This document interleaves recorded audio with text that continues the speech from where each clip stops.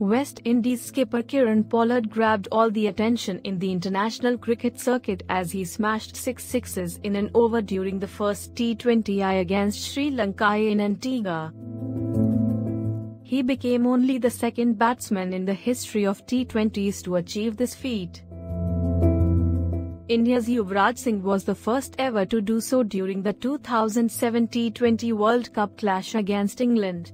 The Indian all-rounder had slammed Stuart Broad for 36 runs in an over in a group match.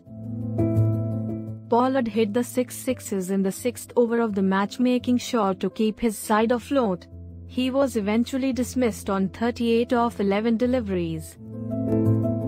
The West Indies captain slammed the six sixes of Akil Dananjaya, who interestingly had taken a hat-trick in the same match, having dismissed Evan Lewis, Chris Gayle, and Nicholas Pooran. I just had to come out and back myself, he said. It was something the team needed. I didn't see the hat trick, I only heard.